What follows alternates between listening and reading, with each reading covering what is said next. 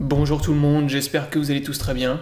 Aujourd'hui on se retrouve pour une nouvelle vidéo, donc on va faire un tutoriel complet sur Binance, donc sur la plateforme de trading Binance qui va vous permettre de trader le Bitcoin contre les altcoins, mais aussi euh, Bitcoin contre, euh, enfin la plupart des altcoins contre du fiat, contre des stablecoins, euh, voilà, il y a même des effets de levier sur cette plateforme, donc il y a vraiment beaucoup beaucoup de choses. Alors, euh, je vais vous faire un tutoriel complet euh, sur la plateforme Binance. La seule chose euh, que je ne vais pas vous présenter, c'est les effets de levier. Donc, je referai une vidéo spéciale effets de levier sur Binance. Sachant que moi, honnêtement, sur cette plateforme, j'utilise très très peu les effets de levier. voilà, ça m'arrive très rarement. Pour les trading avec effets de levier, j'utilise BitMEX et Bybit. Et je vous réfère à toutes les vidéos déjà que j'ai faites sur ma chaîne YouTube donc euh, tous les tutoriels et toutes les vidéos de stratégie que vous pouvez retrouver sur ma chaîne. Donc dans un premier temps, si vous n'êtes pas abonné à ma chaîne, je vous invite à vous abonner. Si vous n'avez pas encore de compte Binance, je vous mets mon lien d'affiliation dans la description sous la vidéo. Et euh, donc c'est parti, on va faire le tutoriel donc sur le exchange Binance.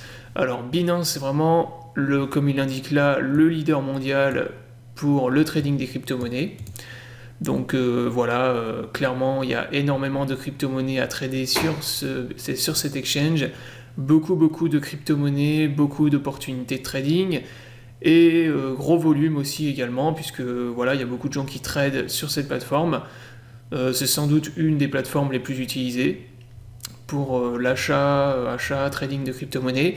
Donc lorsque vous avez créé votre compte Binance, dans un premier temps, ce que je vous invite à faire, en fait, c'est de mettre en place la sécurité, comme d'habitude, sur votre exchange. Donc pour ça, vous allez dans votre onglet ici, et vous allez dans euh, sécurité ici. Et là, ici, vous allez mettre en place la sécurité de ZFA avec euh, Google Authenticator. Donc voilà, faites-le voilà, faites -le dès le début pour mettre en place une sécurité. Vous avez ici l'onglet avec vos portefeuilles. Donc ici, c'est le portefeuille spot où vous allez aller pour faire vos dépôts en crypto-monnaie. Si par exemple vous voulez déposer du Bitcoin, vous allez ici dans portefeuille spot, vous allez euh, dans Bitcoin, BTC ici, et vous avez l'onglet ici dépôt. Donc ici vous pouvez faire des dépôts, des retraits, etc. Donc ça vous pouvez le faire pour toutes, euh, toutes les crypto-monnaies. Ce que vous pouvez faire aussi directement sur la plateforme, c'est acheter du Bitcoin, donc avec une carte de crédit ou dépôt bancaire. Donc ça, vous pouvez le faire ici dans l'onglet acheter du Bitcoin. Donc là, euh, vous pouvez relier votre compte bancaire, faire des virements SEPA et acheter du Bitcoin comme ça, ou bien directement avec votre carte de crédit. Donc une fois que vous avez fait vos dépôts ou achats en crypto-monnaie et que vous voulez lancer des trades, vous allez ici dans l'onglet Exchange. Donc c'est ça qui va nous intéresser aujourd'hui, la présentation de l'exchange sur Binance. Donc euh, là, vous avez euh, votre tableau de bord, donc le dashboard pour trader. Donc là, au milieu, le graphique du Bitcoin. À droite, le plus important, vous avez, euh, en fait, vous avez ici le tableau qui vous permet de sélectionner ce que vous voulez trader. Donc là, par exemple, vous voyez que vous avez Bitcoin contre les altcoins. Donc si vous voulez trader vos Bitcoins contre les altcoins, c'est ce bouton-là. Euh, si vous voulez trader par exemple euh, des crypto-monnaies contre du fiat, c'est ici. Donc là, vous pouvez sélectionner le stablecoin ou bien monnaie fiat de votre choix. Donc si par exemple vous avez des USDT, vous sélectionnez USDT et vous sélectionnez la crypto-monnaie qui est proposée.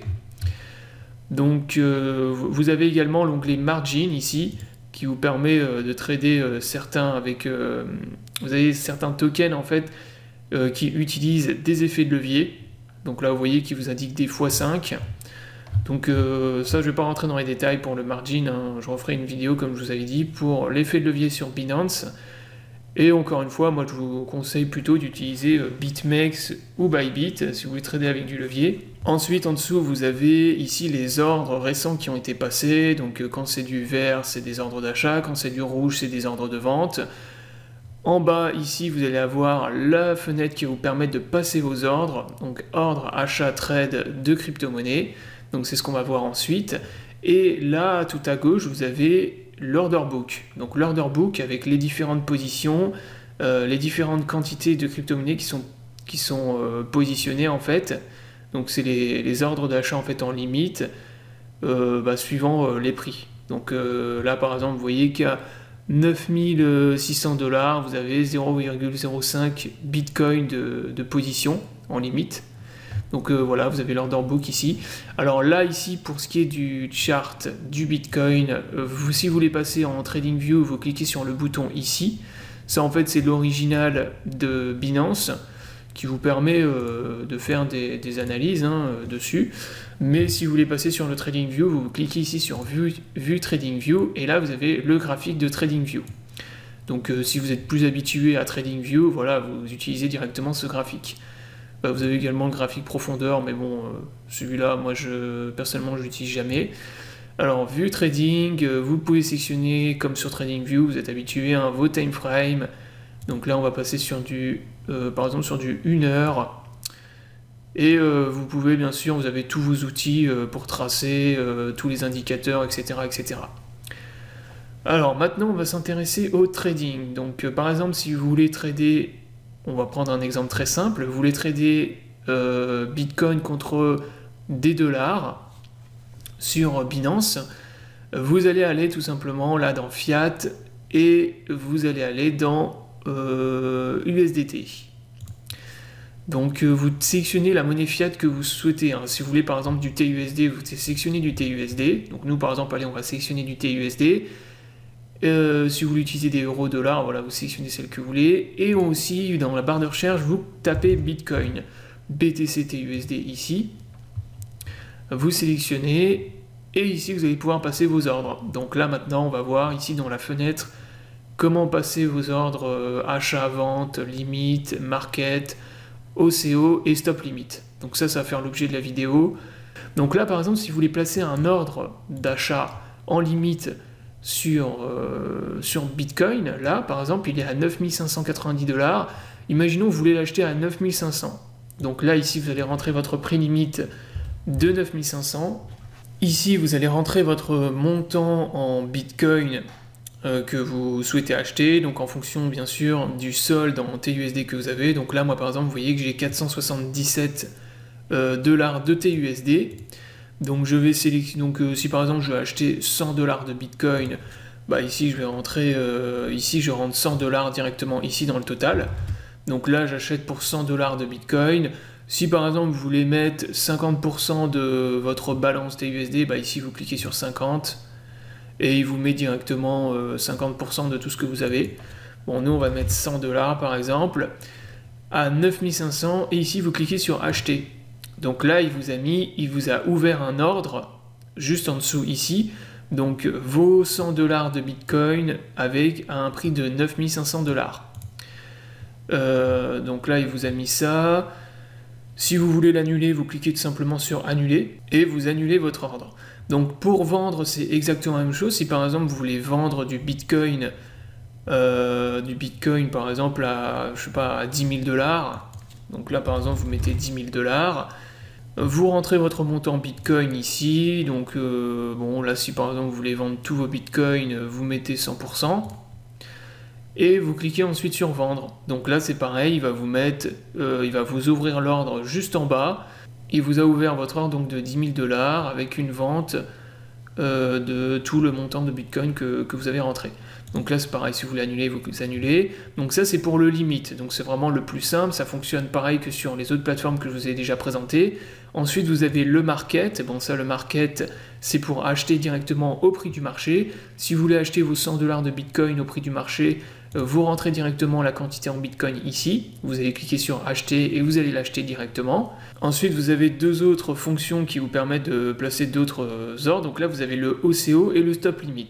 Donc le stop limit, c'est tout simplement pour mettre en place un stop loss, euh, pour par exemple couper vos pertes. Si par exemple vous avez du Bitcoin, euh, là par exemple vous avez du Bitcoin. Donc là moi par exemple vous voyez que j'ai du Bitcoin actuellement. Imaginons que je veux vendre tous mes Bitcoins si demain le marché il crache. Donc là par exemple vous avez une grosse baisse du Bitcoin qui repasse par exemple sous les 9000 dollars, je veux short mes Bitcoins et euh, contre du TUSD. Donc là, vous allez mettre dans votre stop 9000 pour vendre vos bitcoins à 9000. En limite, c'est comme sur euh, BitMEX et Bybit, vous mettez toujours une valeur limite inférieure euh, à votre stop, puisque là en fait le stop c'est la valeur qui va, euh, envoyer en fait, qui va, qui va être trigger et qui va envoyer votre ordre dans l'order book, et la limite c'est la valeur limite si votre ordre par exemple ne peut pas être effectué à ce prix-là. C'est-à-dire que si par exemple vous vendez à 9000 mais qu'à 9000 dollars, il y a trop de vendeurs et pas assez d'acheteurs, que votre ordre ne peut pas être euh, exécuté, eh bien il faut que vous mettiez une, valeur limite bah, qui vous permet de vendre en fait à un prix euh, plus bas. Donc euh, là, on va mettre par exemple 8950. Donc 8950, un montant Bitcoin, vous rentrez le montant Bitcoin que vous souhaitez. donc nous par exemple, imaginons on veut vendre 100 dollars de Bitcoin, voilà. Et ensuite, vous cliquez sur vendre Bitcoin. Donc là, il vous met une confirmation d'ordre. Donc 9000, euh, limite, montant. Vous, cliquez sur confirmer. Et là, vous avez votre ordre qui a été euh, ouvert juste en dessous.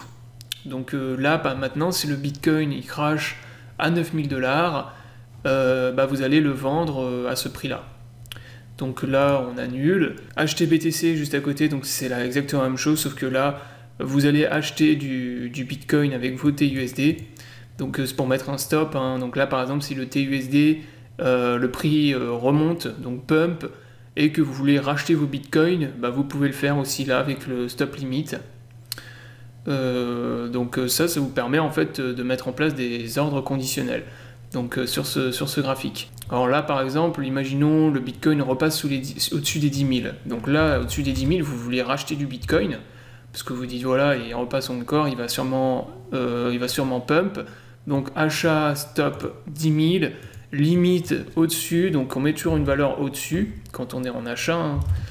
euh, puisque là, on va, votre ordre va être envoyé à 10 000 dollars, mais s'il n'y a pas euh, suffisamment de, vendeurs en fait pour que vous puissiez acheter, il faut mettre une valeur limite qui est au-dessus.